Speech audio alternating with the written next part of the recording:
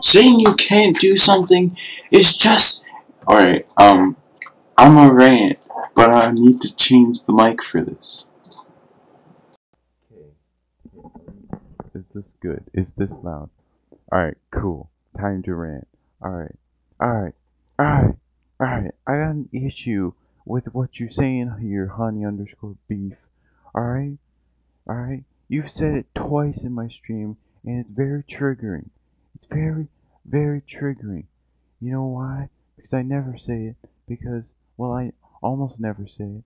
Because it's wrong. Alright? Alright? Here he is. First thing, uh, one of the things he says, he's like, I'm the only person in chat and stream who can't 458, can't flagpole glitch, and can't even beat the game. And I'm sitting here like, boy, you just said that in my stream.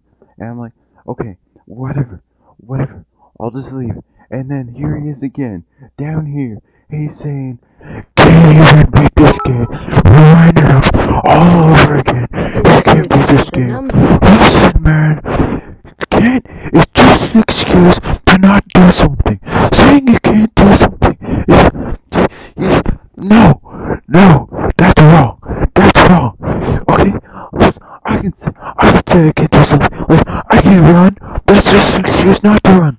Like, yes, I can run. I can take my legs up, make my legs start running.